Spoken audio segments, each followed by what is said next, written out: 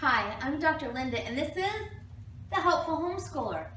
Summer is quickly upon us and I know we're wrapping up homeschooling and your kids are looking forward to the summer as well as you are looking forward to the summer.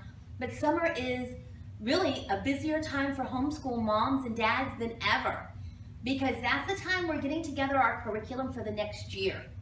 And so I wanted to come to you with some thoughts about curriculum and some things to look for in curriculum. We'll go to, there's a lot of, in the summers, there's a lot of big curriculum fairs. And it's easy, if you're a book lover like me and a curriculum lover like me, it is easy to get oh, excited and you just want to buy everything. And what I would like for you to think about before you go and go wild at a curriculum fair, I want you to sit down and ask yourself, what's worked for me? If possible, you've done an end of the year test. I did a video on that, so be sure and check that out. But if possible, you've done an end of the year test and you've gotten your scores back, and you can see if a curriculum is working well or if a curriculum is not working well. Talk to your kids and say, you know, now listen, before you do this, no, they're coming at it from a, ooh, if I tell her I didn't like it, will I not have any curriculum at all? Kind of weed out their, their negativity here. But ask them, you know, did you love this? Did you not love it? Ask yourself, was this easy to teach? Did I learn something from it? Was it something that was easy to incorporate with other things? So as you go into the next year and you're thinking about a curriculum, you need to ask yourself a lot of questions. Just don't get a curriculum because it's cheap. Don't get a curriculum because it's expensive. Don't get a curriculum because it's bright. Don't get a curriculum because it is, um, I don't know how to say this, I'm just gonna say it. Because it's all on your kids and you don't have to do anything with it, don't do that.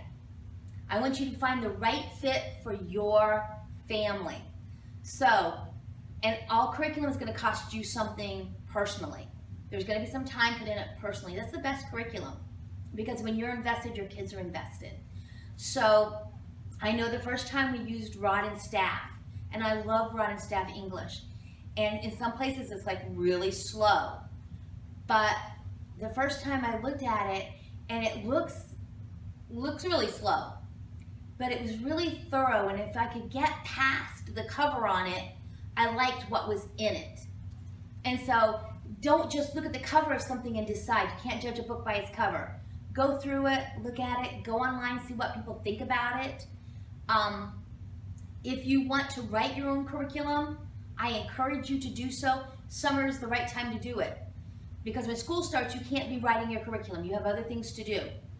Uh, I think I did a video on how to write your curriculum. If not, let me know and I'll, I'll do a, a really quick video on how to write curriculum. Super easy. Subscribe to this channel because I'm always giving you little bits of stuff. Sometimes it's for you, sometimes it's not, but that's okay. Leave your comments below. Again, we, we love to hear from you. But now is your time to do your curriculum, to pick your curriculum. Remember, different kids have different needs. You're going to have those oral learners that you don't want to give them a book this thick. It's not going to work. What's going to be right for your family? And just because something worked for the Jones family doesn't mean it's going to work for your family. And this is the biggest question right now of homeschool moms. You're not even done you're like, what am I going to do next year? Oh my gosh.